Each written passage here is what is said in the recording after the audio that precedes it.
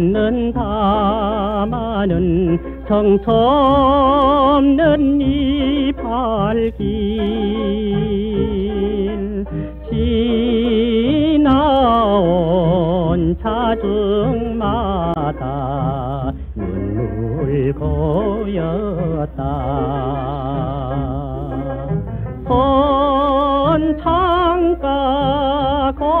고동 소리 내 님이 그리워도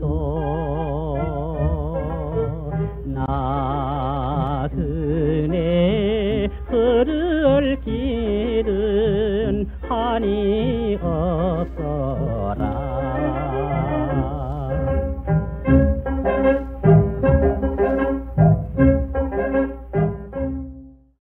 번지 없는 주막 대지의 항구와 함께 가수 백년설 선생의 대표작으로 꼽히는 나그네 설움 오늘 준비한 곡입니다.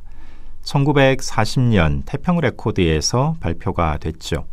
이 노래가 발표된 몇 달 뒤에 번지 없는 주막이 또 히트를 했기 때문에 이때가 그야말로 백년설 선생의 전성기가 아니었나 생각이 됩니다.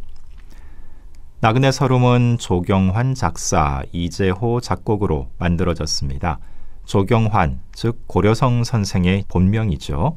이 두 분은 나그네 서름 외에도 1950년대까지 정말 좋은 작품들을 함께 많이 만들었습니다. 이 사진에 나그네 서름 관련된 세 분이 모두 다 등장을 하고 있습니다. 백년설 선생이 뒷짐지고 서 있고요. 작사가 조경환 선생은 오른쪽에 또 앉아 있습니다. 그 뒤에서 기대서 사진을 찍은 분이 작곡가 이재호 선생이죠. 가운데 앉아 계신 분은 나그네 서름과는 관계가 없는 작곡가 전기현 선생입니다. 처음 발표가 될 때부터 나그네 서름은 상당히 히트 기대를 많이 받았던 것 같습니다. 광고 문구도 공들여서 적은 표시가 나는데요. 고달픈 인생 여로를 하염없이 걸어가는 나그네의 피로 엮은 낭만보. 작시, 작곡, 가수가 삼위일체로 완전히 융화된 태평의 혁명반이요, 유행가의 태양반이다. 요즘 기준으로는 조금 어색한 느낌이 드는 표현도 보이긴 합니다만, 여하튼 태평 레코드에서 많은 기대를 걸었던 작품이라는 것을 알 수 있습니다. 그리고 실제로 나그네 서름은 그 기대에 부응하는 대히트를 기록하게 되죠. 확실한 음반 판매 기록은 남아있지 않지만 당시 활동했던 분들의 추산에 따르면 대략 그래도 10만 장 가까이는 나가지 않았을까 이런 얘기들이 전해오고 있습니다. 말이 쉬워서 10만 장이지 1940년 당시 그 정도가 판매가 됐다는 것은 1990년대 김건모의 잘못된 만남 못지않은 그런 기록이었다고 볼 수 있습니다.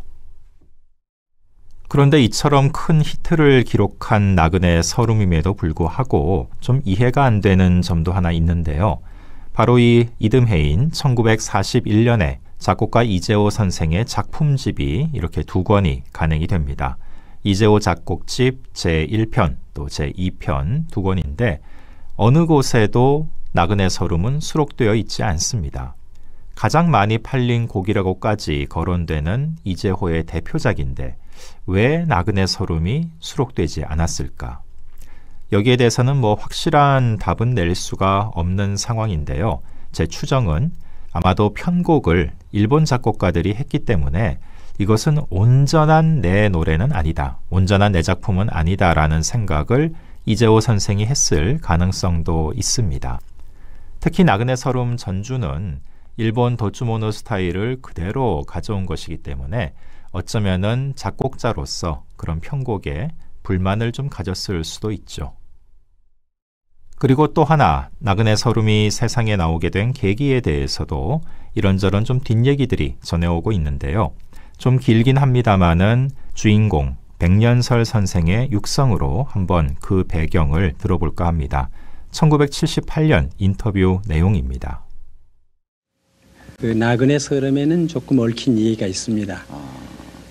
지금 서울의 그 치안본부 자리가 옛날에 경기도 경찰부거든요. 아, 네, 2층이 바로 외사갑니다. 네. 거기에 불려갔댔어요.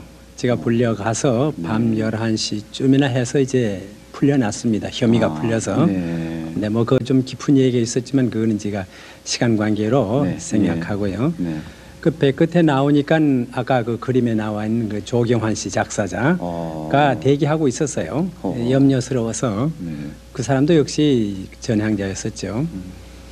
그래서 두 사람이 그 광화문 사실 그 요즘에는 서울 광화문이라는 게 굉장히 그 번창합니다만은 그때 당시만 하더라도 그 전차가 끊어질 무렵에 이거 이 인적이 끊어질 무- 무렵에 그 광화문이라는 것은 쓸쓸했습니다. 어. 네.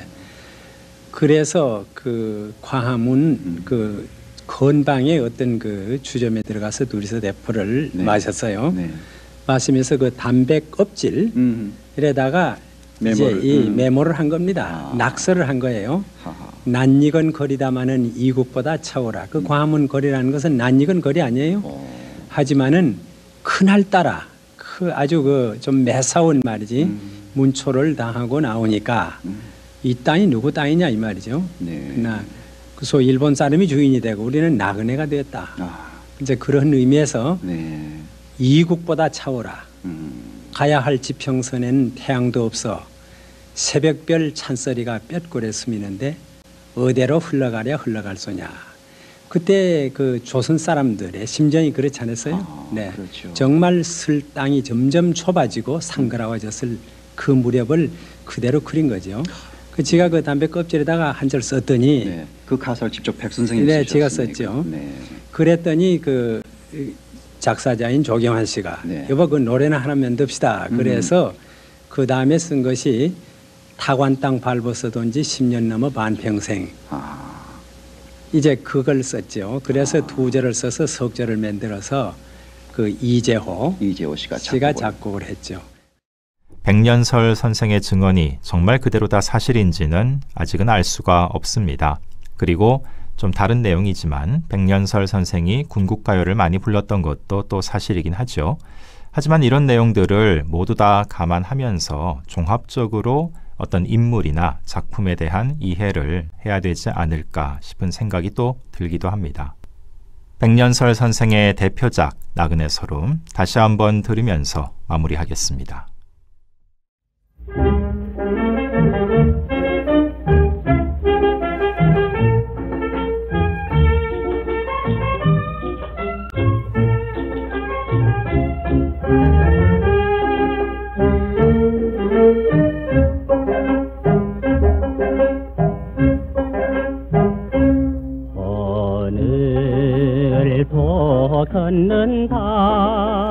걷는다마는 정처 없는 이 발길.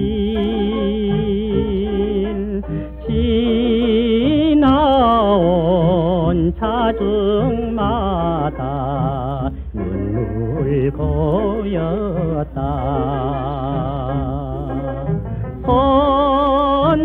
손창가 고동 소리